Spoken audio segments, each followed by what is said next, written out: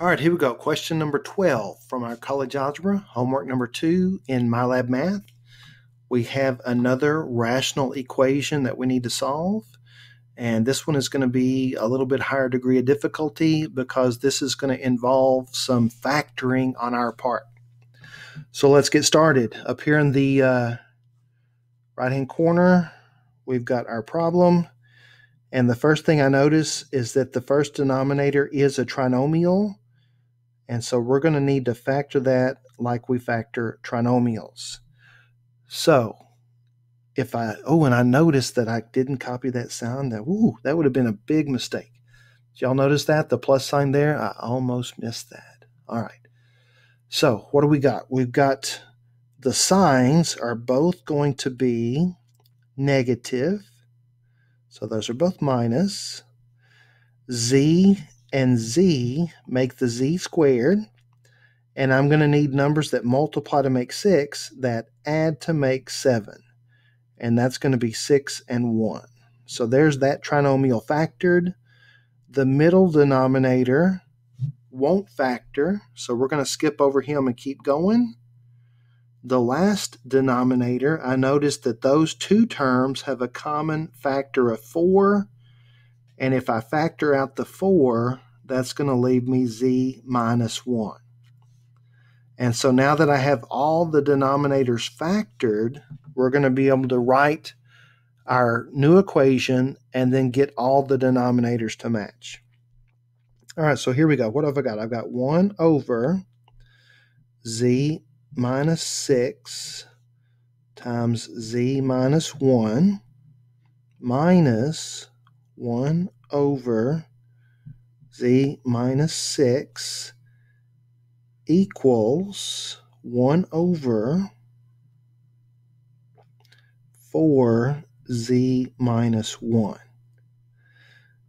that's the the new equation with the denominators factored. And so now we're going to go through and we're going to find out what does each denominator need so that they all have the same stuff okay? So this last denominator notice he has a 4 a factor of 4 that the first den- denominator does not have and so he needs the 4 whatever i give to the bottom i have to give to the top the second denominator has the z minus 6, he needs the 4 and the z minus 1.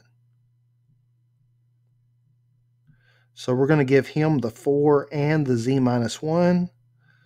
So we're going to have to give that to the numerator as well. And for the last denominator, he needs the z minus 6. And so we're going to have to give that to the numerator as well. And now, if you go through and notice, every one of these denominators now has exactly the same stuff. We have a 4, a z minus 6, and a z minus 1. 4, z minus 6, z minus 1. 4, z minus 6, z minus 1. So now that all the denominators are identical, we can effectively cancel them out. And we're only going to have the numerators left as an equation. So 4 times 1, that's going to leave me a 4, minus this numerator, 4 times 1, that is 4 times z minus 1, equals, and then 1 times anything is itself, so equals z minus 6. And now we have a new equation with no fractions. This should be pretty easy to finish. Distribute the negative 4 that's going to give me 4 minus 4z plus 4 equals z minus 6.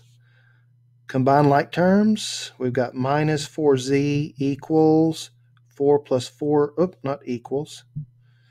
Negative 4z, 4 plus 4 is 8 equals z minus 6. And then what I'm going to do is I'm going to take this z and bring it this way and take this 8 and bring it this way. So that's going to give me negative 4z minus z.